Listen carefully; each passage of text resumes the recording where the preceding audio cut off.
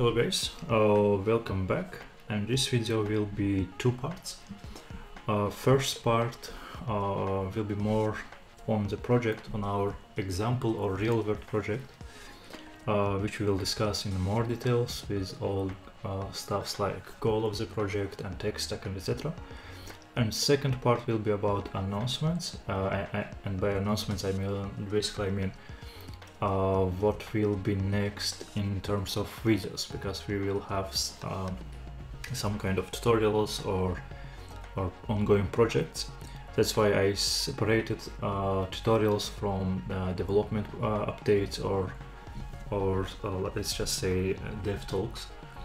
And in this one since first video was 20 minutes long I decided okay maybe we can split it in two parts with um, with more focus on, a, on a topic.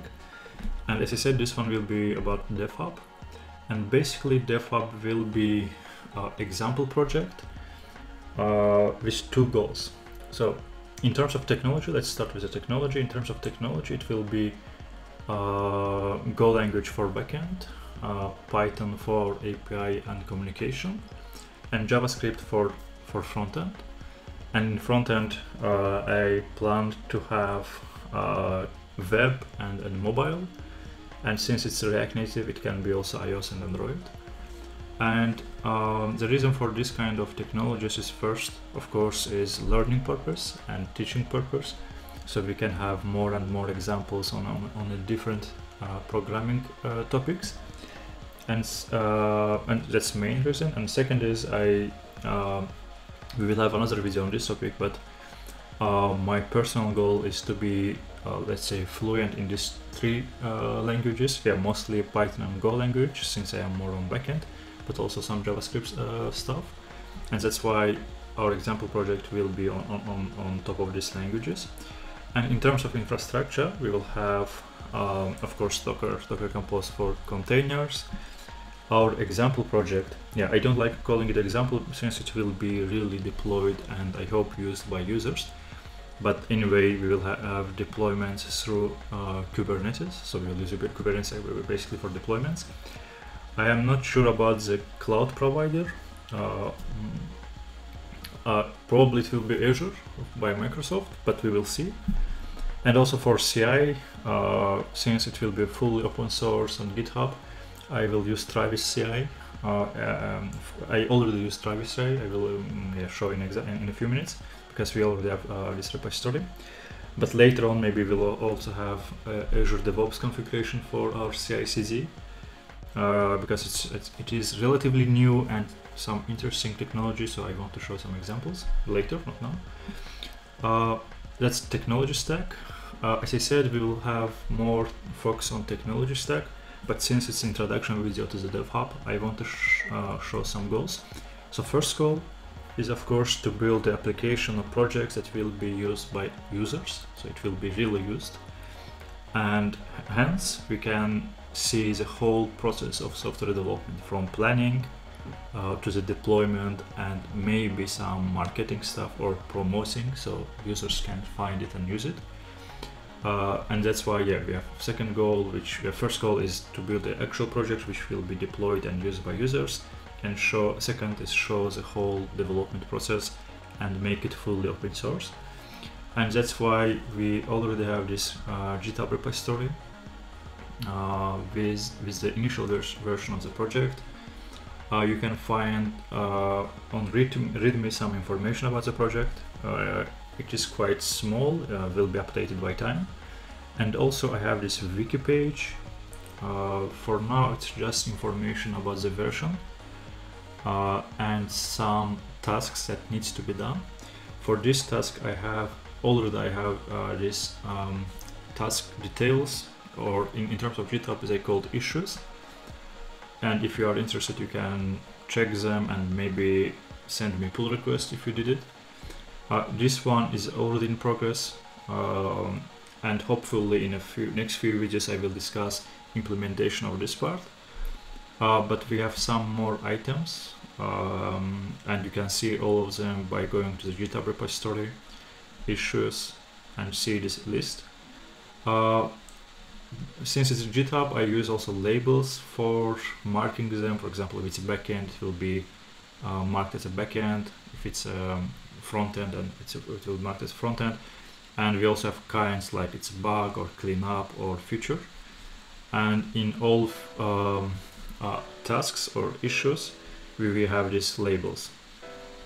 Also for our first version, I have these milestones uh, milestone. Uh, it's also a GitHub uh, uh, feature. And with version 1 I have only two items yet, so I will add more. Uh, and one more item about the organization of GitHub part is if you go to the CoderVlogger's um, GitHub project, uh, you can see this projects tab. And in this tab we have DevOps. And in this, uh, it's Kanban board. So in this board you can see which uh, items or which tasks or issues they are in to do, which issues they are in progress. That means that I'm someone or me in this case working on it. So this is a visual representation of our project. Um, some other stuff that we have uh, is, as I said, it's our basic project structure.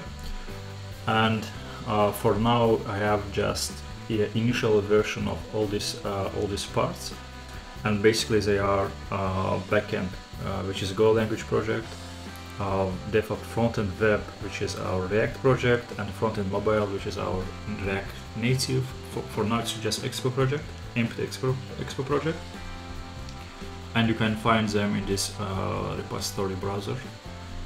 Um, yeah, and you can see that for Go, it's just printing uh, DevOps. Uh, for now, since we have this um, uh, yeah, since we have this uh, task, uh, right now I'm working on the parsing of a JSON file. Uh, for more technical details of this project, I will post another article uh, probably uh, next day after this video. And in this article, you can find more technical details of, of this project.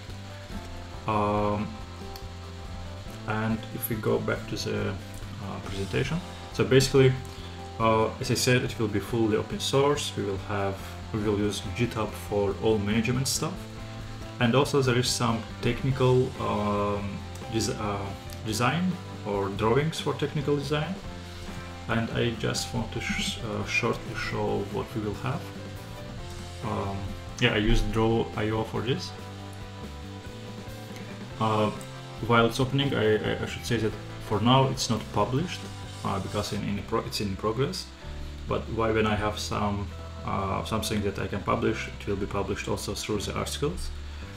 And basically, uh, for now, I want to show just high-level design of this project. So basically, DevHub is a project for uh, for programmers, and by using this project, you can see uh, different kind of articles, and by clicking on them, you can read these articles uh, for now I have this simple UI design. So basically when you open you have list of the articles. When you click on article, you get these details of the article.